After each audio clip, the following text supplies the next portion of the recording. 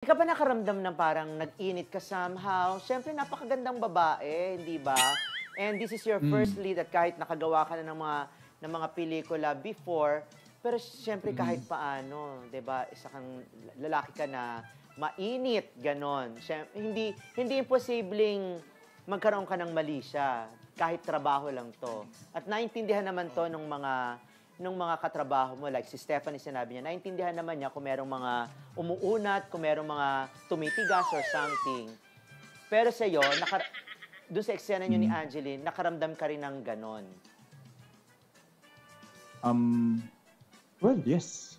Pero, um, may part na hindi yun lang yung naramdaman ko sa kanya. Kasi, ano, hindi yun yung, hindi yun parang, parang sexually na nakita ko siya ng gano'n eh. Ang nakita ko kasi kay Angeli, parang ganito siya. Um, her hair was so soft. Yung skin niya sobrang light. Tapos yung soul niya is napaka-gentle. Mhm. So parang hindi siya parang, alam mo yung parang pang ganun talaga na ano, pagka iba yung, iba yung naramdaman ko siya pagka malapitan. Mhm. Parang ano talaga siya, parang, um, wala actually, pagka medyo kinakausap ko pa nga, medyo na, nahihiya pa nga ako sa kanya eh, pag lumalapit ako sa kanya eh. So, tinablan ka ba o hindi sa eksena niyo sa love scene? Sorry? Tinablan ka ba sa eksena niyo sa love scene ni Angelia, ni Angeli? Sobra. As in, Oo. Mhm. Oo. Ah, Mm. kasi mahirap 'yun eh, mahirap kontrolin 'yun like ah, nagtama ba ang ang mga katawan ninyo dun sa eksena? Mm. Sa love scene, nagtama. Nagtama. Nagdikit ang mga katawan ninyo. Yes. Mm-mm. Chess, anong nararamdaman na dumidikit yung yung boobs nung kapareha mo dun sa sa skin mo sa mga eksena?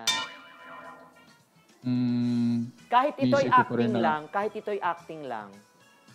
Lalo na kay Mm. Angeline, napakaganda. Ang ganda ng boobs ni Angeli. Mm-mm. Um, ang masasabi ko po dyan is, um, I have to stick to the script. Again. Mhm. Mhm. Mm-mm. And I have to deal with it professionally.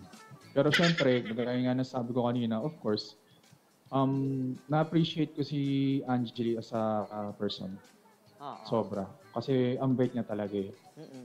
Tsaka siya yung nagturo sa akin ng lahat ng how to do it right and do the consent. So, na-appreciate ko siya sobra. So, At hindi na- lang hindi lang kasi parang ano eh, yun lang eh. Tapos gano'n.